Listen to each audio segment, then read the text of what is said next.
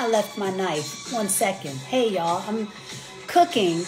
And I was like, you know what? I'm going to get on and just say hello while I'm doing my thing. How are you? It's been so challenging for me to get on camera of late because I have so many moving parts going on in my life. Hey, y'all. I hope everybody's been good. Hey, Joseph. Man, like, I've been working, okay? Hey, girl, Mama Purvis, how are you? What up, y'all? I'm just dropping in. I'm cooking. I'm about to make some gumbo, okay? And I'm kind of, uh, I'm, I'm, I'm, I'm cheating because I'm not making the roux tonight. I'm doing a pre, a pre-prepared roux. Okay, look, pre, yeah, pre-prepared roux. I'm breaking my fast. I'm doing Ramadan right now. I'm practicing it. And so you you stop eating at sun up and you start eating at sundown. And as the days progress, because we're moving into summer, it's getting more and more time on the clock. You feel me? So I'm looking forward to this. I might do a little snacking on my dry mango. Hey y'all, what's up? Welcome. How's everybody doing? I know it's been a minute since I've been on here. Hmm. Thank you, Nate. That was my mm, second morsel tonight. Oh my gosh, today. And it's good. Mm. Mm. Hey, Lisa. What up? So, I've already made like my salad, okay? And I'm gonna add some um, avocado. Doesn't it look so good? Mm, mm, mm, mm. It looks super fresh. And then I'm gonna put some um some celery. I forgot my knife though. Hold on.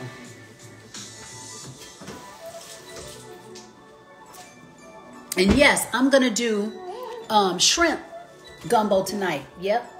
I have a pescatarian diet and I will swerve with some seafood every now and again. So I'm looking forward to it. I haven't had some gumbo in a minute. I was like, I want that right now. So I did some good intermittent fasting, you feel me? And now I get to do some good eating. Okay. I know, right? And it looks so fresh, the avocado. Hey, Jordan, what's up, baby? It's good to see your name in the chat. I'm in here trying to act like I know what I'm doing.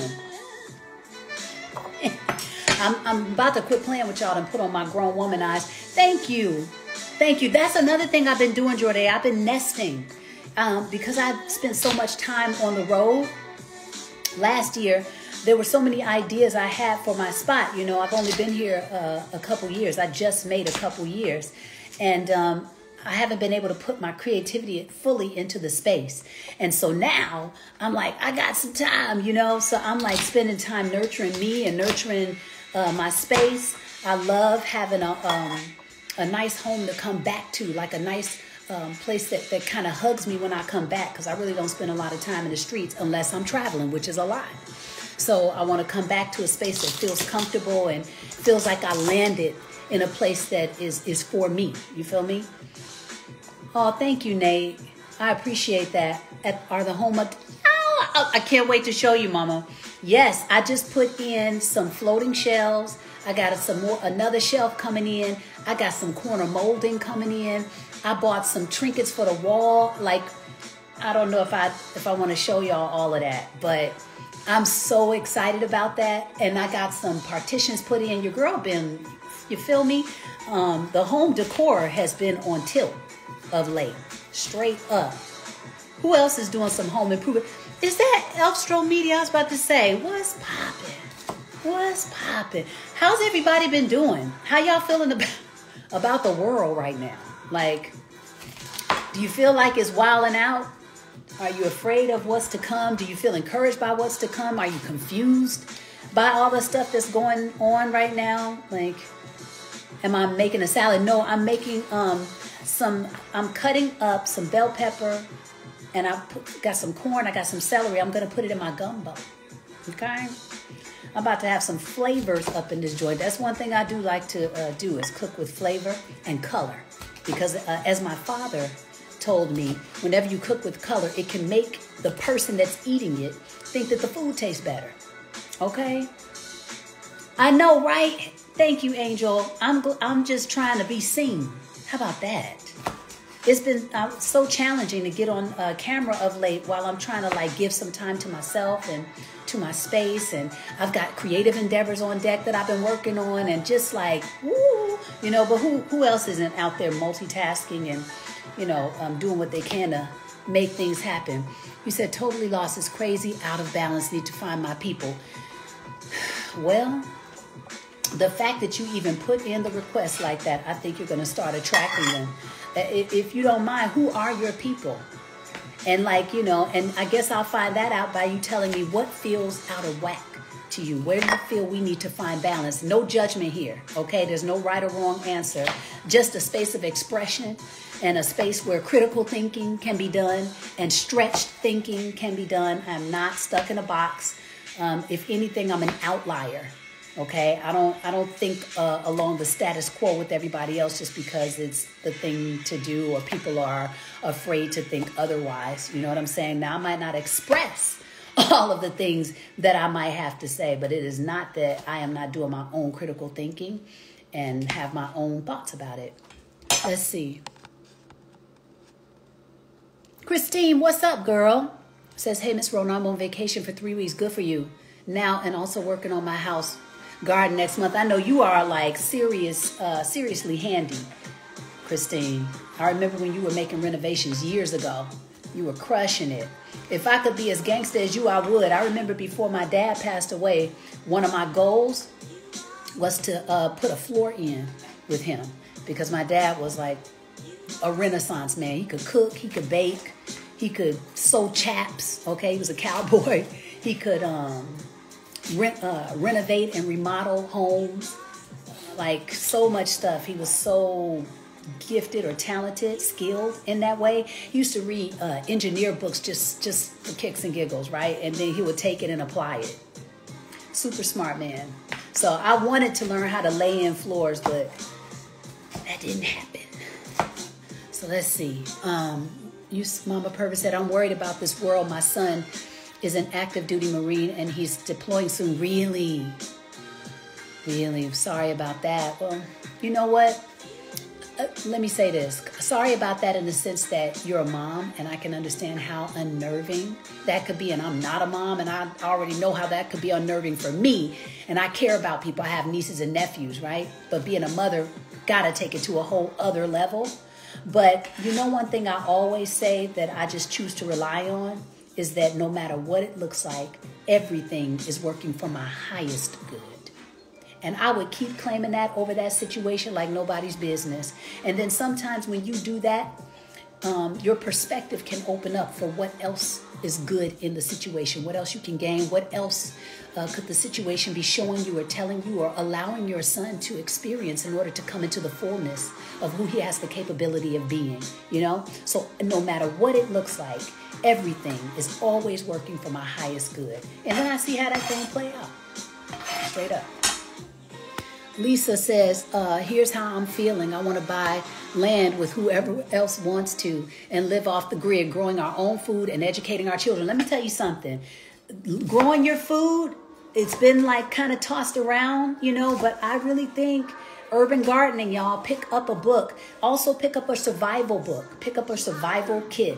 You just never know what you might need and how um, that type of information could be extremely handy um, and necessary uh, if ever you need it. And then it's just good to just kind of like not always rely on something or someone else to have to pull you out of something or to use your hands. Stay stay physical. Keep your hands in the earth. Learn learn how to grow your um, nutrients for your body. You just never know when that information could be extremely useful. You feel me? So preparation, not to say you got to be afraid. It's just like, you know, what's another skill I can pick up? What's another bit of information that can help me to sustain this life in the way that I would like to sustain it, you know? Education. Um, and there are a lot of people who are developing land now for that reason. All these tiny homes and RV uh, homes and stuff like that. People are like going in with that and creating their own sustainable communities, you know? And can you imagine if you go and learn some of these traits and skills, trades and skills, how you could be of benefit to the community like that. Like really, really benefit the collective because you've educated yourself in some way and you can provide that particular skill or understanding for the uh, community. Dope. Let's see. Jordan says, "Me too. I want to live off the off land and want to invest in tiny, sufficient homes." There it is. That's like been the trend. Um, but I think a lot of people are doing it too because they just don't know, you know, what's next, and they want to be mobile or they don't want to have too much overhead so that they can uh, pivot. Right? Can pivot, baby. Protect your son. Thank him for a sacrifice. Beautiful, Lisa.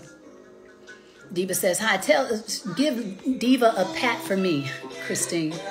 My screen locked up and I'm sad. I'm missing out, going to come out and come back in. Okay, okay, Mama Purvis. Hey, Eric Ward, what up? I haven't seen that name in a minute.